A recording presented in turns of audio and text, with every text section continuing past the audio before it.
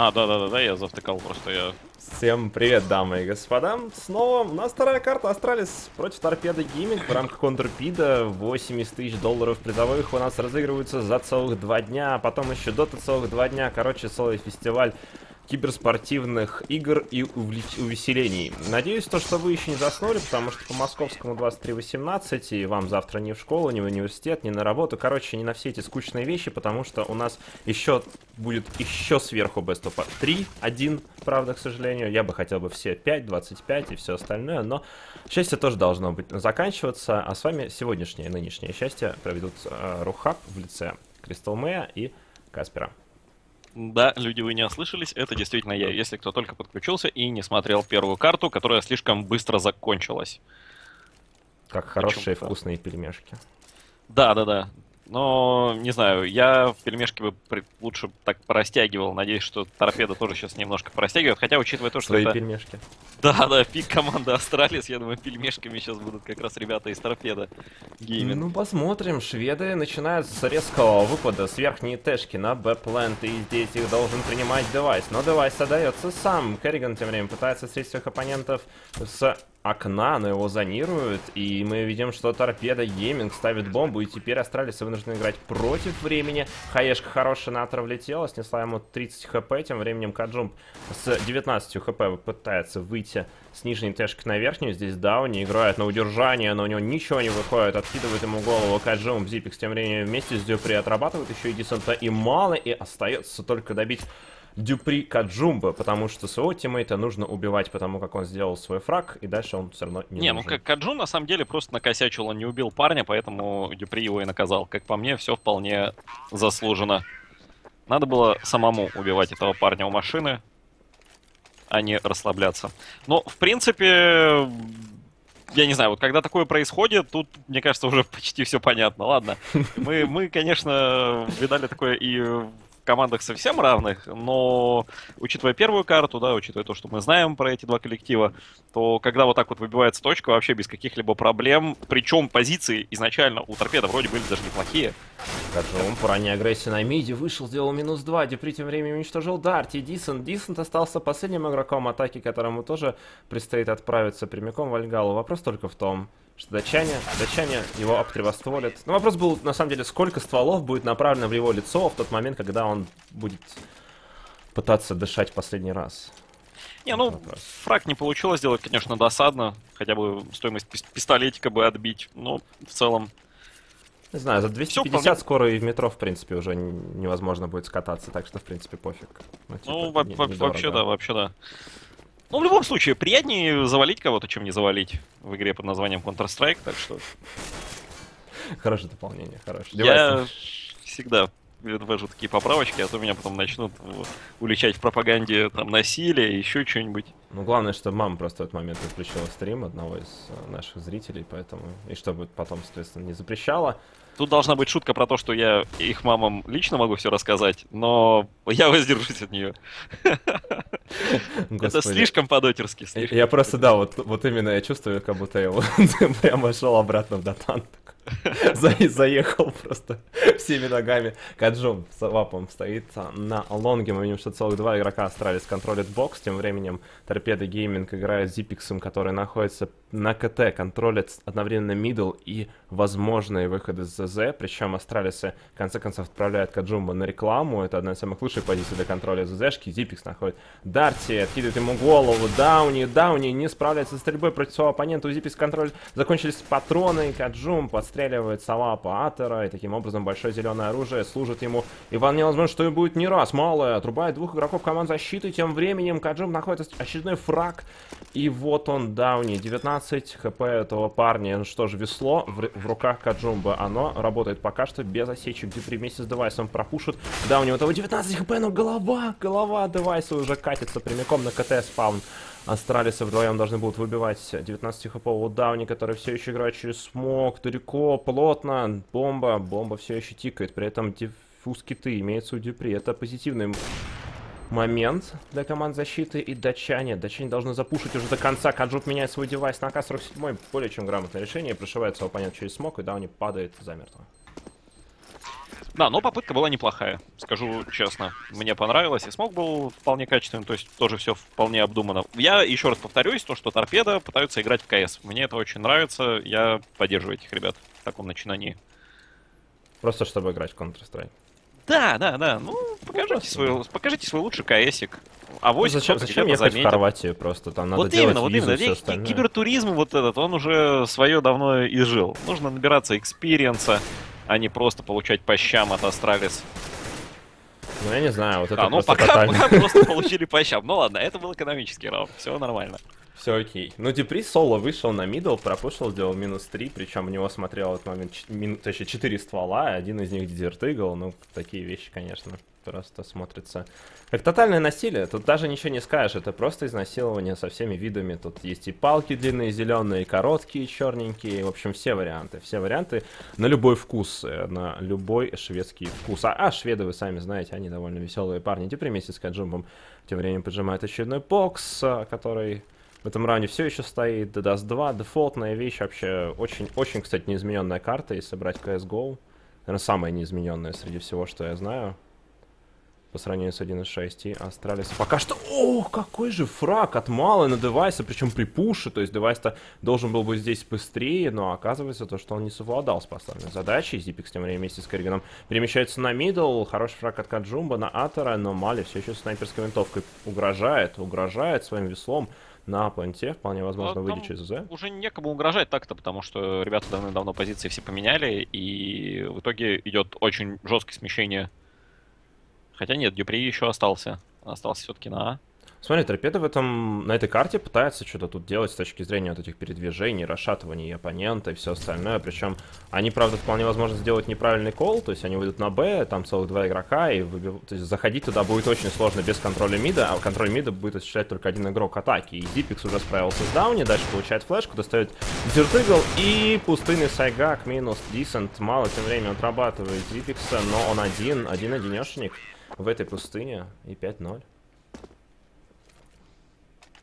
Как Я просто было? молчу. Я, просто я смотрю, да, решил смотрю, игнорировать что играть. происходит. Не, ну, ну, сейчас они, мягко говоря, просто не угадали с точки. Такое тоже иногда происходит. Да, вышли действительно двух парней, и выходить было очень тяжело. Плюс флешка в мид, которую схватил м, человек атаки.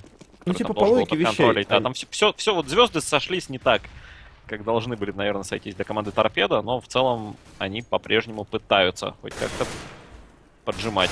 Да, ой, как хорошо там стек-то Дисент развалил. Нормально, нормально. Но Зипикс будет следующим крылом обороны у Астралисов. И мы видим то, что к нему еще и подъехал Каджумб с АВП. И это означает, то, что Torpedo Gaming вполне возможно окажется в очень-очень серьезных проблемах здесь. Особенно Дарти, который сидит на мусорнике. И Дарти получает голову. Каджум тем временем отрабатывает десанты. Остается только мало с его П-250 и бомбой. Нужно поставить, нужно поставить C4. Но девайс с прыжка убивает с АВП в голову. Здравствуй, Counter-Strike Global Offensive. 10 раунд, значит, 10 фрагов у Каджумба, восьмерочку Дюпри. Я, кстати, на протяжении предыдущей всей карты вообще фраг стата не зачитывал, просто потому что какой в этом смысл? Не, ну тут, тут ты тоже зачитал их, пока еще смысл не был утерян, судя по всему. Что, что просто очитал. Я просто честно как замечательно в дверь ввалил Карригану в башню. Ну вот я этого парня заметил, он реально хорошо пуляет и вообще хорошо действует по игре. Возможно, мы его где-то когда-то и увидим. У него неплохая динамика, то есть он э, способен давать close фраги с АВП, он способен давать mid-range и, не только там с каких-то защитных позиций. Это позитив. Проблема в том, что его не поддерживает никто, да. Если эта снайперская ви- винтовка действовала на динамике, на темпе вместе с э, какими-то флешками, хаешками, плюс на разменах и все остальное, это было бы намного более эффективно. Но мало пока что герой войны здесь единственный, э, скорее всего, какой-то эффективности своей команды, кроме каких-то фрагов, да, он не принесет. Раунды надо забирать. К сожалению, игра на раунды, не на фраги. Здесь Зипикс на ЗЗшке через смог ничего не видеть, пока Дюпри у- убил снайпера команды Торпеда Gaming, и шведы остались втроем. При этом у Дарти проблемы с хпшечками. Он однорукий, одноглазый, бандит, 10 хп у этого парня, заберет АВП, неизвестно зачем. Но с другой стороны, в снайперской винтовке легче играть без хп, нежели штурмовику.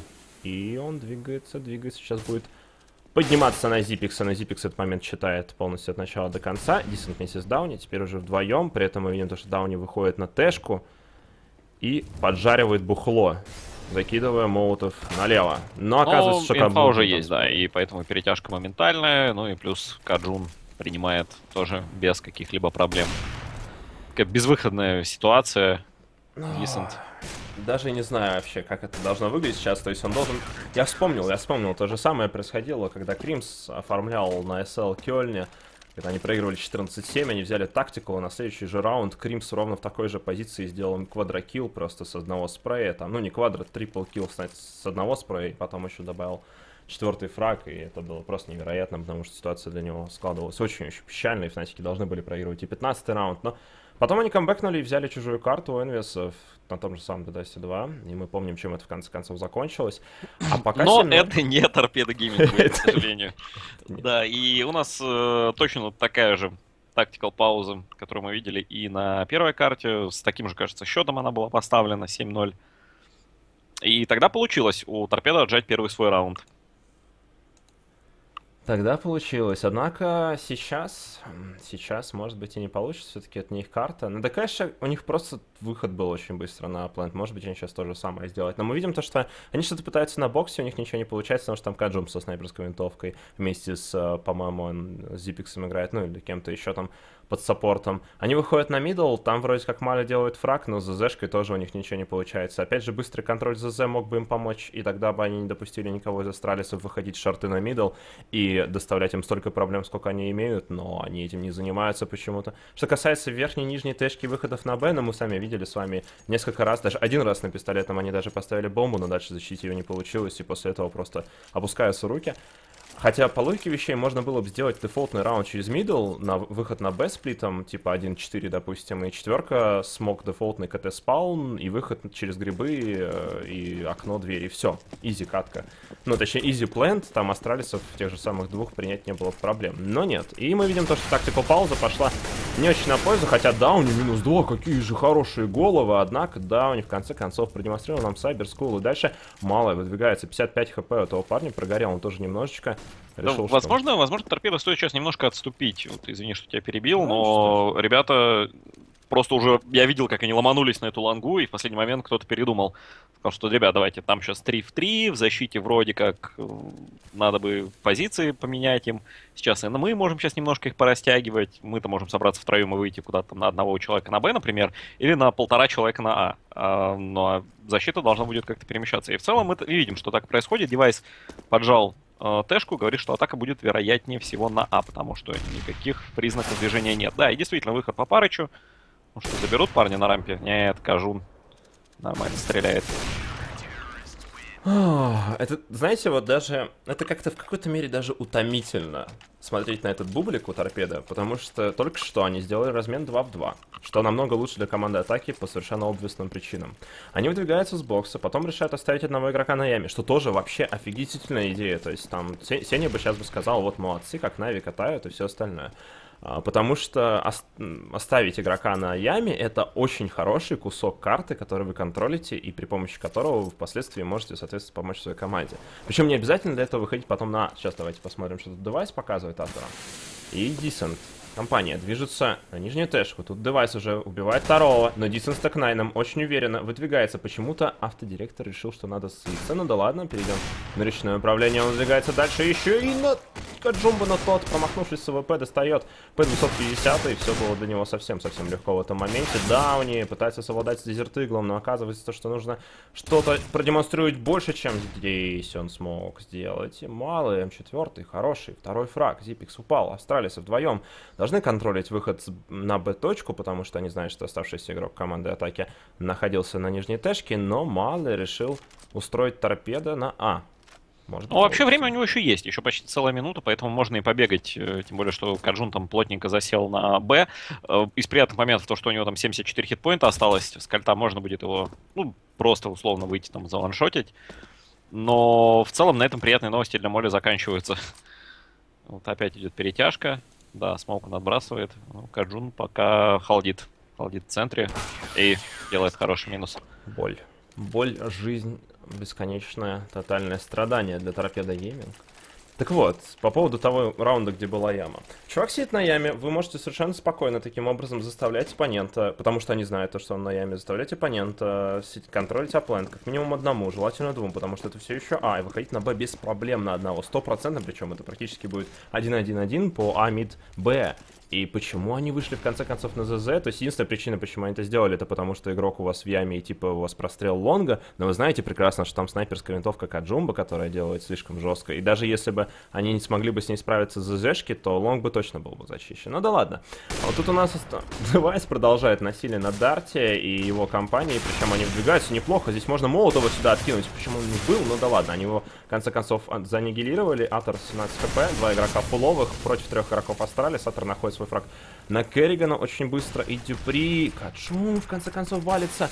Зашел Дисент с мида. Это хороший поджим, замечательная работа, но, к сожалению, он не совладал с double стволами от Дюпри и Зипикса. Причем сейчас есть целых 40 секунд для того, чтобы разминировать эту бомбу. И мы видим то, что Дюпри идет с нижней и верхней тэшки впоследствии. И Зипикс будет играть с окна. Но окно он задымил, поэтому он будет играть в двери. Мало. Мало, сова, по он не думает о том, что есть кто-то в тэшке, что ли? О, о сейчас боже, как они ухо могут притопить. Они не смотрят вообще ее, о мой бог, что? Как это возможно? Мама, дорогая, это же книжка, это же вот просто дефолтная книжка, можно в Метрополитене купить, у первой же бабули спросите, как, как играть на Как халдить Бэпленд.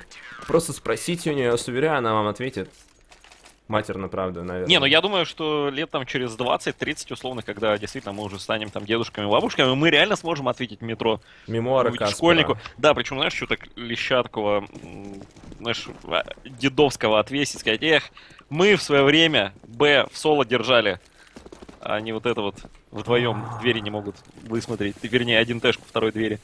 Ну, Я ладно. не знаю, как это вообще происходит с людьми. Ну да ладно, Дюпри у нас пушит мидл снова, снова, причем он это делает. Его ждут. И это очень хорошая, знаете ли, эволюция торпеда гейминг в этой карте. Замечу, что получил Дюпри еще и по щам от мало. Это означает только то, что торпеда гейминг, по-моему, в первый раз за последние раунды три оказывается в большинстве. И девайс, девайс. Контроль все еще мидл. Атор начинает прострелы. Голова, голова девайса должна была сейчас а, точнее, он должен был отдавать, но должно было быть намного лучше. Главное сейчас на вот этом кураже опять не отдать лишних пару человек, потому что там уже э, Дарти, ну, он видит, там действительно неплохо пострадал, у него там 7 хитпоинтов, Дисон тоже 39. Нужно просто опять осторожненько, хладнокровно. Э, Во-первых, опять э, нет никого в темке толком, и поэтому Карриган дает инфу, что ребят там все в мидле или будут выходить там на А, вероятно, по шарту. То есть и слишком много информации теперь у Астралис. Они сейчас должны будут перегруппироваться. Самое интересное, что они могут сейчас не смотреть спину. Я видел такие раунды от сейчас шведов, и это заканчивалось очень грустно. При этом Зипик принимает зеленку. Атор. Атор неплохо. Вместе с Дарти они разобрались. Керриган вышел в спину. Ну вот, вот что? Вы серьезно? Это вот два раунда подряд. Мы видим то, что парни не смотрят свою спинку. Тем временем вышел Дауни, попытался справиться с девайсом, причем он ошибается в где-то стрельбе из 5-6 патронов. То есть это э, даблами или триплами. Можете сами посчитать, это минимум 2 адекватных э, спрея, но у него ничего не удается, и Астралис выигрывают 11-0. Торпеды Гейминг просто не могут совладать с эмоциями, потому что явно у них просто шалит прицел. Да, немножко-немножко паникуют, и понятно, все-таки лан, да, я думаю, ребята там все неопытные, ни у кого нет нормального э, экспириенса присутствия на подобного рода турнирах. Но в целом нужно пытаться как-то это побороть. Потому что реально видно, что очень волнуется. О, какой там выход моментально пресекает Карриган и девайс. И жарит всех просто налево и направо. Дисон с Мали вдвоем. Попробует с верхней тэшки выйти хоть куда-нибудь. Бомба, главное, потеряна. Она под контролем Астралис находится. И здесь ничего не остается Дисонту, кроме как погибать. Мало. Контролит нижний. Дюпри сюда придет. Дюпри. Дюпри его... О, не справляется. Мали его обкисулил. И сейчас нужно, нужно, нужно смотреть в две стороны. Один глаз налево, другой глаз направо. Да тут выкуривают просто как таракана из этого логова, да. О, не знаю. 12-0. Грозится уже такая сухая сторона, потому что денег у торпеда на этот раунд толком нет. Можно, конечно, закупиться, но тогда да, все-таки решили сделать такой...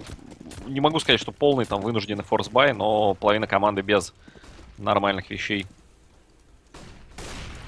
Каджум открывает счет тем, что уничтожает Дарти, без всяких проблем и сомнений, ясное дело. Дисон, правда, получает вместо Галила АК-47 это позитив, но у них запертый игрок на мусорки. И это означает что? Это означает то, что у него очень-очень мало шансов здесь выжить. 52 хп у него остается после того, как он получает хаешку сверху молотов. 38 хп ему надо выдвигаться, ему срочно нужно предводить агрессию при помощи своих тиммейтов. Но в конце концов Дюпри уничтожает его. И дальше зачистка ямы происходит, убивают Дюпри. Мы видим то, что Астралис очень быстро а, производит ротацию на А-плент, и Каджум будет играть с 15 хп с АВП на лонг.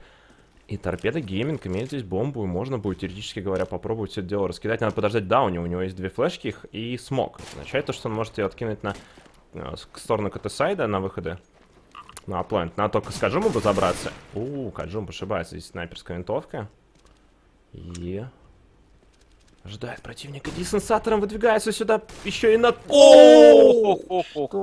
Ох. Это провал. Как замечательно девайс только что вышел.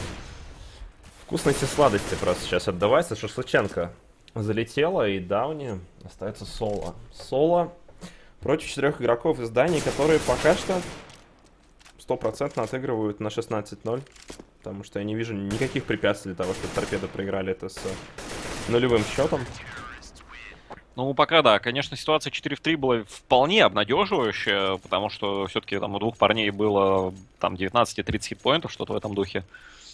Поэтому проблем с численным преимуществом могло вообще никаких не быть в итоге. Но вот этот дабл с авика просто крест поставил на этом раунде.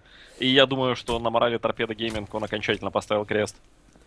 Будем надеяться, что не окончательно. Хочется увидеть хотя бы два фрага на протяжении оставшихся шесть... трех раундов, точнее. Девайс тем временем смотрит мидл. Снайперская винтовка уходит за смог вкидывает туда же еще один, таким образом элиминирует своих оппонентов на, на 18 секунд, Торпеда Гейминг на 17, прошу прощения. Торпеда Гейминг хотят, хотят законтролить ЗЗ. Давно не видел э, хорошего контроля ЗЗ от них, там, в четвером, допустим. Или хотя бы спину смотреть в этот момент. Зипикс неплохо играет. Удержание. Керриган тем временем откидывает Атора. Хаешка вместе с Молотовым показывается для Мали. Он наступает, но сзади прижимает Керриган с Тэшки. Дарти справился с девайсом. И Керриган, Керриган спреит, но не получается здесь довести дело до конца. Каджум находит голову с АВП Дарти, мой бог, Дюпри остается один. Против трех игроков датча, э, шведов, и сейчас Торпеда Гейминг имеет нереальнейшие шансы затащить это, и если они это проиграют, то я не знаю уже, куда дальше. Дюпри на мидл, вышел, смотрит, Дарти ошибается, ну, точнее, он попадает по нему, но 39 хп. А вообще там суммарно 70 хитпоинтов у трех игроков команды Торпеда Гейминг, поэтому сейчас выход от Дюпри может закончиться для них весьма плачевно. Все-таки с кольтом там можно грамотно поспреить. 12 патрон, кстати, он не перезаряжается, замечу я. Нет у него раскидок адекватных только флешки, и это минус Дарти. Перезарядился, флешку откинул, идет дальше. Есть defuse kit ы, можно отыграть по времени адекватно. 5 HP у него осталось после точного выстрела мало. Мало все-таки погибает, и да, он не играет на размен, неплохо. Датчане все-таки сделали. Nice, Дарти. Ой, ну, ржут уже. Ржут остались, потому что, я вас уверяю, они тоже самое могли сыграть на онлайне с каким-нибудь совершенно, ну, просто на праках где-нибудь. Ну, я думаю, с нашим стаком тоже примерно так бы получилось. Ну, я уверен, что намного хуже, но счет был бы такой же, скорее всего. Может быть, тоже где-то один раунд там отжали, когда бы нас с пулеметами ходили, гасили. Зипикс. Смог. Дальше. Дарти. Дарти не ловит Зипикса. Причем он тот стоял на троллейбусе, Каджун находит Дарти. Но дальше вопрос чисто в том, что Торпеда Гейминг просто задумались. Они начали... Они остановили свои атаки и возвращаются обратно. Кажем тем временем ловит на выходе Дисента. И мы видим то, что бокс не совладал. Тут Атор. Атор. Просто с двух сторон его обошли. Сейчас изнасилуют. Сэндвич. Сэндвич, дамы и господа, мало. Выдвигается на лонг. Пытается хоть что-то продемонстрировать Сова. По 16 хп у этого парня остается. И он не попадает в очередной раз. Ну где же ты? Где же ты стрельба? Снайперской винтовки, торпеда, гейминг. 14-1. Тот самый счет, с которым закончится первая половина. И вторая половина закончит страдания шведов, надеюсь, очень быстро.